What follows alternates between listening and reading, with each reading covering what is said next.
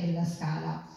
La Val d'Orcia, importante ricordare, poi forse viene detto anche successivamente, è attraversata dalla via Francigena. Oggi mh, un importante diciamo, tragitto percorso da turisti, un tempo da pellegrini, viandanti eh, e anche diciamo, visitatori eh, di ogni estrazione sociale, quindi fin dal Medioevo, e lungo la via Francigena ehm, alcune tappe alcuni luoghi di sosta ehm, eh, permettevano appunto eh, di eh, proporre ospitalità, eh, luogo per eh, la cura e diciamo il proseguo del cammino eh, andando verso sud in direzione Roma. giusto per dare un riferimento geografico, la provincia di Siena, appunto la Valdorcia è nella, nell'area sud della provincia di Siena, quindi è la direzione che si sposta eh, verso, verso, Roma e la via Francigena diretta a Roma attraversa la Valdorcia. Spedaleto, che già nel nome richiama la funzione di ospedale, ospedaletto, ehm, fu una fattoria fortificata già esistente nel XII secolo dal 1263 di proprietà del Santa Maria della Scala, dell'ospedale senese che eh, arricchendosi ehm, costruì o fece proprie eh, fattorie fortificate lungo la strada francigena come fi filiali dell'ospedale stesso e granai. E per questo appunto eh, Grancia, fattoria fortificata, in quanto in questo luogo erano conservati grani prodotti che poi venivano spediti a Siena per la sussistenza dell'ospedale stesso, con un sistema virtuoso particolarmente funzionale per diversi secoli. E, luogo assolutamente interessante da un punto di vista anche architettonico, paesaggistico perché è al centro della Val d'Orcia e, che conserva ancora oggi la funzione per cui è nato perché è ancora oggi una fattoria di fatto e, eh, interessante e importante nel 400 perché fu ristrutturato ehm, fu conclusa la chiesa eh, in cui era presente quest'opera e per cui fu commissionata quest'opera dalla committenza ospedaliera. Infatti in basso, eh, vedete che sto indicando, due stemmi ai lati che sono le, la scala, simbolo del Santa Maria della Scala dell'ospedale senese con la croce sopra, che è proprio un po' il simbolo di riconoscimento di questa istituzione. Ehm, opera commissionata, dicevo, dall'ospedale, ma consacrata dallo stesso Pio II che nel settembre del 1462, anno, lo stesso anno in cui fu compiuta la cattedrale di Pienza e comunque la data di conclusione dei lavori della città di Pienza, fu fisicamente presente alla consacrazione della chiesa e dell'opera che qui vediamo, quindi ancora una volta eh, l'entourage rinascimentale e la figura di Pio II sono importanti per eh, il nostro pittore. Oh, scusate. E, ehm, opera eh, in cui è rappresentata la Madonna col bambino al centro in una vera e propria sacra conversazione questa volta. Quindi i santi sono inseriti all'interno di un ambiente architettonico, grande eh, novità e grande diciamo, eh, uno stravolgimento nell'arte senese perché il fondo oro viene a mancare completamente e questa è la prima opera eh, senese in cui non abbiamo un fondo piatto dorato, ma un cielo atmosferico in alto,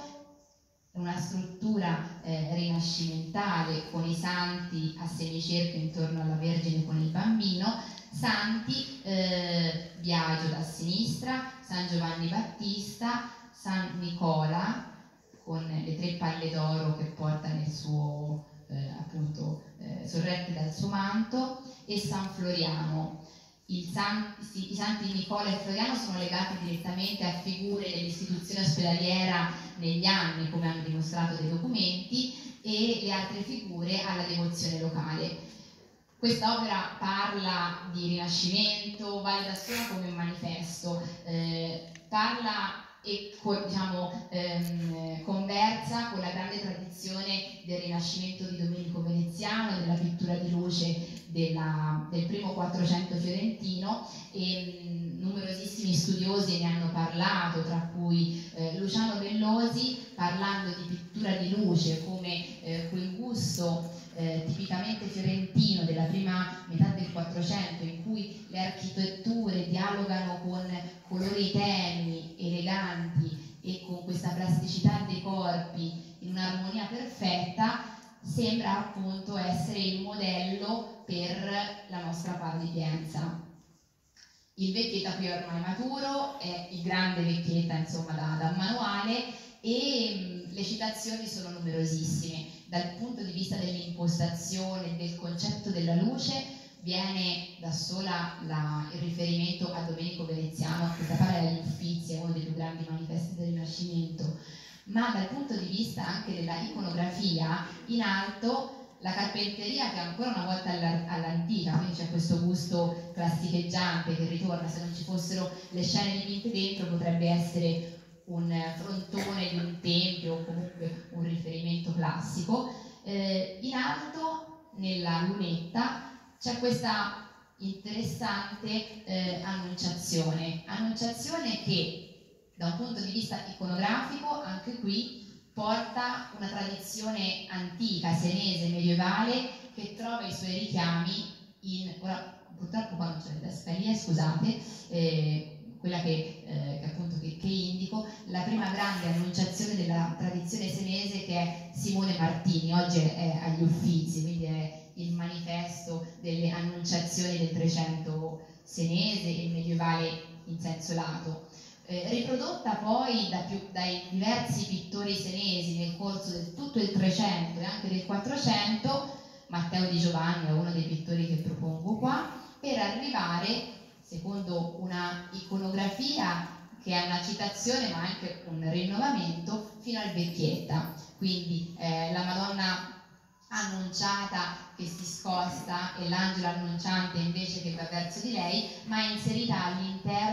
di questa eh, chiara e tipicamente rinascimentale architettura che non può non richiamare agli occhi eh, il polittico di Sant'Antonio di Piero della Francesca della Galleria eh, Nazionale dell'Umbria a Perugia. Eh, quindi il vecchietto ormai maturo, ormai eh, abituato a dialogare con i suoi grandi, con i grandissimi riferimenti del Rinascimento e quindi con la pittura di luce di Domenico Veneziano, di cui Piero della Francesca fu un grande interprete, eh, ne è anche lui un diretto seguace. Non dico che una sia la citazione dell'altra, però da un punto di vista soltanto così estetico, eh, essendo le prime annunciazioni realizzate con questo concetto architettonico, eh, diciamo, si, si richiamano assolutamente. Interessante la parte bassa dell'opera, in cui nella predella sono presenti eh, il martirio di San Biagio, poi c'è la crocifissione e un, il miracolo di San Nicola è ancora una volta qui l'aspetto plastico, l'aspetto diciamo diverso del vecchietta che viene fuori e sono le figure come diciamo, delle figure scultoree che dividono eh, le scene della predella che hanno un diretto richiamo nelle virtù che dividono all'interno del battistero eh, di Siena, eh, che sta sotto la cattedrale, eh, gli scomparti bassorilievi realizzati dai grandi artisti del Rinascimento, eh, tra cui Donatello. Donatello figura che fu decisamente diciamo, importante anche eh,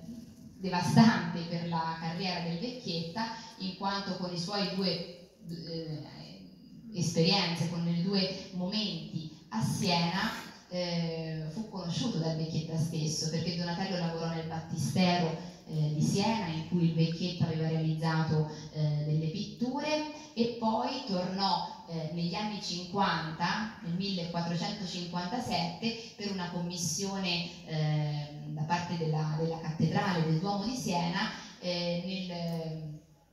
bellissimo, celebre eh, San Giovanni Battista che in questi giorni eh, in mostra a Palazzo Strozzi a Firenze, la mostra di Donatello, in cui assolutamente eh, fu eh, importante per una svolta più espressiva e ancora diciamo eh, più plastica eh, nei confronti appunto dell'arte fiorentina del Vecchietta e questo confronto è abbastanza calzante, quasi come se l'opera del Vecchietta volesse essere una citazione di Donatello. E con questa si conclude la mia presentazione, spero di avervi dato una carrellata abbastanza esaustiva delle opere del Vecchietta in terra di Siena e speriamo di vedervi nei nostri musei